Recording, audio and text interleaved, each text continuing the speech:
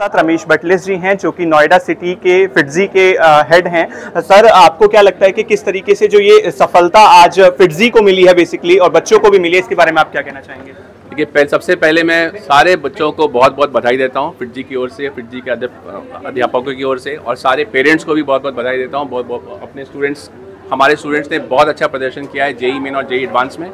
सबसे इंपॉर्टेंट चीज़ है कि इन बच्चों ने अपना संयम मेंटेन किया। जेई मेन के बाद एक महीने का जो टाइम होता है, उस टाइम में इन्होंने काफ़ी मेहनत की। जेई एडवांस में भी जो है, हमने जो रैंक इनके लिए सोच रखा था, वो रैंक वो लेकर आए। कुछ बच्चों ने बहुत अच्छा प्रदर्शन किया। जो एक्सपेक्ट जो हार मान चुके थे कि जेई मेन में हम अच्छा नहीं कर सकते, लेकिन उन्होंने जेई एडवांस में बहुत आगे बढ़ के और अच्छे रैंक लेके आए। तो इसके लिए मैं बहुत खुश हूँ। हमारे सारे स्टाफ की तरफ़ से सबको बहुत बहुत बधाई। All India rank 16, all India rank 77, all India rank 112 हमारे सेंटर का आज तक का बेस्ट रिज़ल्ट है। और लास्ट 14 ईयर से हमारे सेंटर से मोर देन 100 सिलेक्शन आईटी में हो रहे हैं। इस रिकॉर्ड को भी उन्होंने कायम रखा है। इसके लिए बहुत बहुत बधाई सबको। आ, सर इसके साथ साथ एक क्वेश्चन मेरा ये भी है कि जैसे कोचिंग में तो काफ़ी अच्छा अच्छा मतलब मटेरियल भी मिल रहा है बहुत अच्छी मोटिवेशन भी मिल रही है लेकिन आजकल सोशल मीडिया काफ़ी ज़्यादा पीक पे है। तो ऐसे में कई बार जो सोशल मीडिया बच्चों को अप करने का काम करता है तो कई बार सोशल मीडिया पे ऐसी चीज़ें भी देखने को मिलती हैं जो बच्चों को डाउन कराने की कोशिश करते हैं। इसके बारे में आप क्या कहना चाहेंगे? देखिए सोशल मीडिया एक अलग तरह का इन्फ्लुएंस है। हमारे बच्चों को हमने स्टार्टिंग से ही ये गाइडेंस दी थी कि देखो, क्योंकि ऑनलाइन के टाइम इन्होंने पढ़ाई स्टार्ट की थी जब पैंडमिक चल रहा था।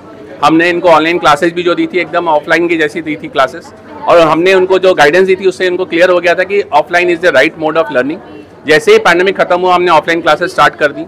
बच्चों का कनेक्शन ऑफलाइन ऑनलाइन में बहुत कम हो गया, क्योंकि पहले पैंडमिक के दौरान ऑनलाइन में था इनका काफ़ी इंटरेस्ट बट जैसे पैंडमिक खत्म हुआ, बच्चों ने ऑफलाइन पे फोकस किया, और उस ऑफलाइन का ही नतीजा है कि बच्चों ने अच्छे रिजल्ट्स लेके आए क्योंकि ये खुद बच्चों को पता है कि ऑफलाइन में इनको काफ़ी मतलब हेल्प मिली है।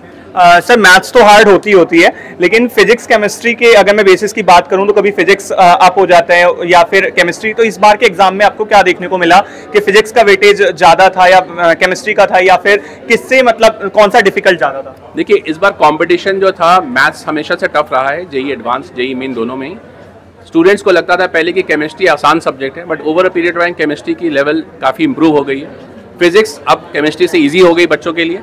और केमिस्ट्री जिन लोगों को अच्छी तरह केमिस्ट्री मतलब जो इग्नोर करते थे उनके लिए केमिस्ट्री टफ हो गया। लेकिन जो केमिस्ट्री में अच्छे थे उनको केमिस्ट्री से फ़ायदा भी हो गया। इस साल केमिस्ट्री का लेवल अच्छा आया। बच्चों ने काफ़ी अच्छा केमिस्ट्री में स्कोर किया है। फिजिक्स भी काफ़ी मतलब ईजी आया बच्चों के लिए। बट मैथ्स uh, का लेवल मेंटेन रहा है। मैथ्स टफ पेपर रहा है compare to previous year also so overall paper का लेवल हम कहेंगे बैलेंस ही था।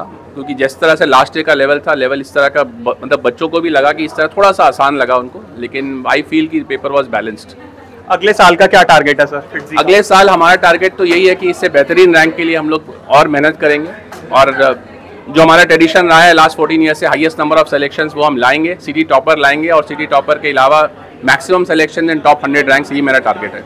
Thank you so much sir for talking to ten news